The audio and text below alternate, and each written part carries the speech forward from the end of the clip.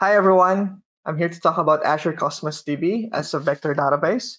My name is Michael John Pena. I'm a Microsoft Azure MVP and a data and AI director for Playtime Solutions.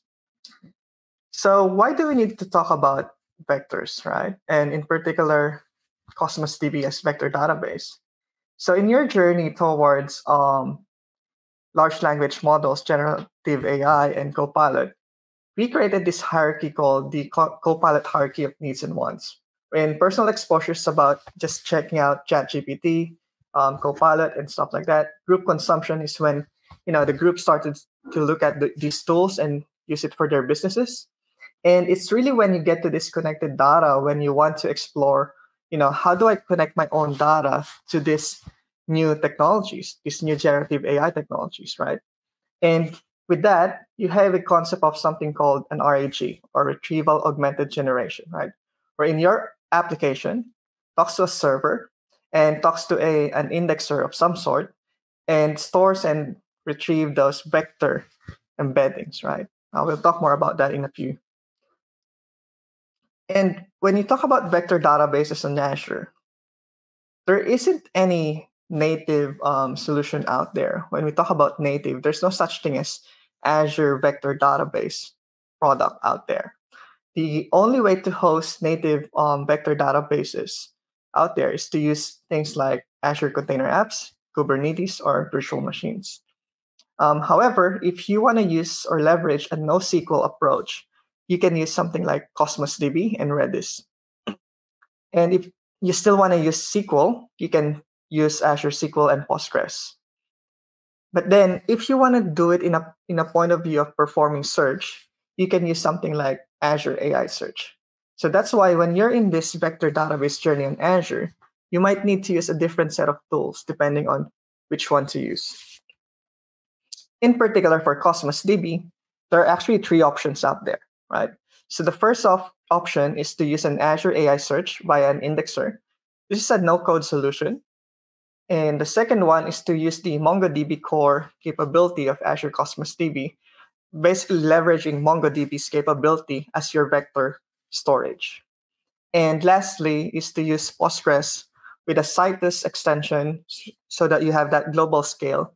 And at the same time, the most important bit is using PG vector extension to allow a more native capability of storing vector embeddings. Let's start with the AI search journey. So with AI search, all you gotta do is that because you're doing it in a point of view of search, all it needs to do is just retrieve a bunch of data. In this case, something like um, Cosmos DB is a data source. And then there's some um, series of events such as the data cracking, enriching, and um, capabilities around embedding things like using Azure OpenAI's ADA002 uh, embedding model to do all those operations for you automatically, right? And then with that, all of those embeddings from your data source are now actually stored in Azure AI Search. So that means that the data from your source eventually gets converted as an embedding uh, in a vector representation and stored in AI Search. And from that point forward, um, an application such as a web app or uh, a backend or a mobile app can now communicate through your data using AI search. So to put that in perspective, all you gotta do is um, in AI search, add a data source. And in that adding of data source, you just have to select a database. And in this case, that's going to be Cosmos DB and perform some data field mapping, right? And just um, continue throughout the step and you'll have an easy um, ready-made connection for you. To show you how, how it looks like, on my right, I have a Cosmos DB called Cosmos NoSQL Vector. And in that, I have a database called Vulkan DB. And with that database, I have a volcanoes collection, right? So this is just a bunch of um, volcanoes out there. Um, that you can actually kind of like um, it shows the the name of the volcano, the country of origin, and the region, and some other uh, types like elevation, type, and status, right? So I've already performed a bunch of queries in Azure OpenAI.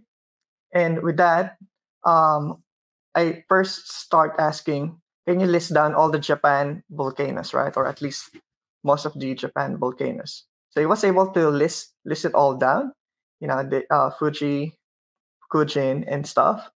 Same goes with USA, and and I even asked about the Philippines. So in this case, um, for example, with Arayat, it you know it the data that was presented here in Azure OpenAI was actually a representative of the data uploaded in Cosmos DB. So you can see a like-to-like uh, comparison that you know it's a stratovolcano, which is of that type, and the elevation is 1026 meters. Right. So with this approach, this allows you to have a large language model capability without um, having to update a model frequently, right? You can just base it off from your own data anytime. Now, I want to talk about MongoDB Core, right? So the beauty of um, Azure Cosmos DB is that you have a lot of options out there to use different set of technologies, and it's already scalable in in a way that it's globally accessible. And just adding these capabilities of vectors is just like adding a new data set or a new data type, right? So it's not the way you provision the infrastructure, the way you interface with the application would still be relatively the same. It's just that you are introducing this new set of um, services and capabilities. So I have a sample code in here wherein um, it's a Python notebook um, wherein I'm interfacing using PyMongo so in here, I created an, um, an index called Easy Test Index and a collection, which is Easy Test Collection. And in this case, I'm using Azure OpenAI to um, create that embedding capabilities for us, right? And in here, I'm also using something called LangChain to perform the um, the chunking or the uh, separation of a document for me, right? So I have a document here called pradap.txt. It's basically a collection of services in Azure about data analytics, right? So I talk about Fabric, Databricks, and um, Data Factory and pipelines. So when I go back here, all I'm doing here is that, hey, try to ingest all this you know, information from that text file and use the Azure OpenAI embeddings, which is, again, the ADA002 uh, model and from there, um, I want to connect to the MongoDB cluster that I provision uh, using, again, MongoDB core, uh, very important distinction out there. And from there, um, all I'm doing is that I'm creating this vector store that all those documents that I'm trying to kind of like embed or you know chunk um, and slice it up, I want to put them to um, to that Cosmos DB. And as part of that, I need to create an index as well. So from there, I can now perform a similarity search between embeddings, right? So when I perform a query of Microsoft Fabric features, um, it can perform that similarity search to actually search that in which part of the document it mentions Microsoft Fabric features. And in this case, um, it it did pull up that hey, when I talk when I was talking about Microsoft Fabric, it did pull up that section. And furthermore, you can also um, can now perform a similarity search between a query and the ingested document as well. So what that means is that Cosmos DB is now acting something like a, a caching layer for you, so that you don't have to have to retrieve or perform those embedding operations all over again. And to look what's inside the um, the database, I open my database, you can see that if I try to find all the collections in that easy test collection, uh, all the documents in there, you can see that all of these embeddings that um, LangChain created for us are now in here. Here's the text content, and the vector content are in here on the right. So with that, you can actually leverage the Cosmos DB, MongoDB core capability as your vector database, right? Because at the end of the day, a vector database is just a storage of all these vector contents, right? Like Um, and all it does is that it performs a bunch of um, similarity algorithms to know that you know when you're performing a query, it converts to vectors and tries to compare that to the vector content in that database. And that's the whole uh, point of vector database wherein it's about how accurate and how similar a search result could be. Okay, now let's move on to Postgres. Um, Postgres is one of the most loved um, database out there. Arguably, it's probably not just a SQL database anymore. It's already um, a database that can support a lot of different things, right? And if you put it this way, um, Postgres was um, created before MongoDB, but then during that time, a lot of the capabilities of MongoDB was also imbued in Postgres, such as um, the, the global scaling capability. And hence, with um, Azure Cosmos DB, it have that Citus extension that allows you to have a globally scalable Postgres database.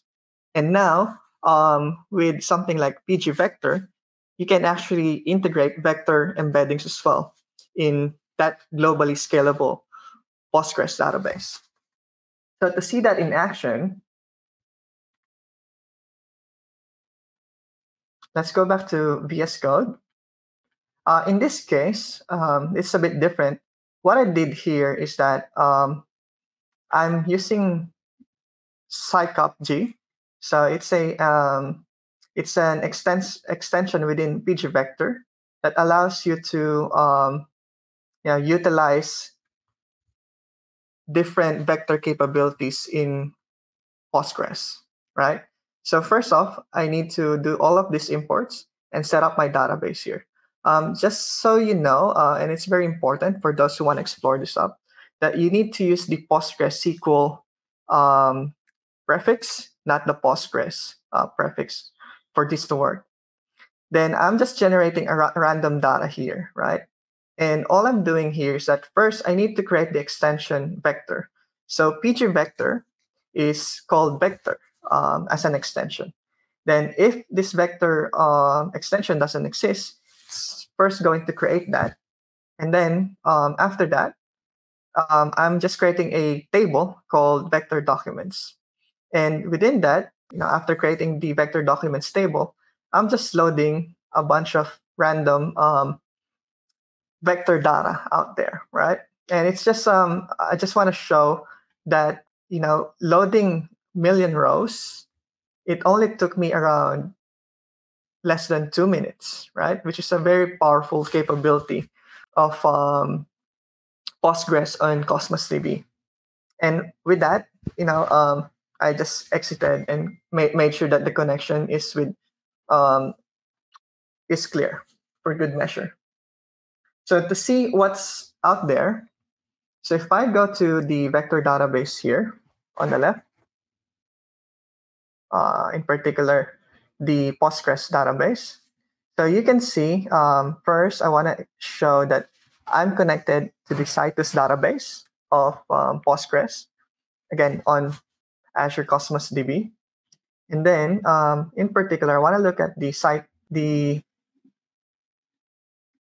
in public and in database objects. I want to look at the extensions, right? So in extensions, you can see there's the Citus extension. Again, that's what powers this globally um, powerful um, Cosmos DB database.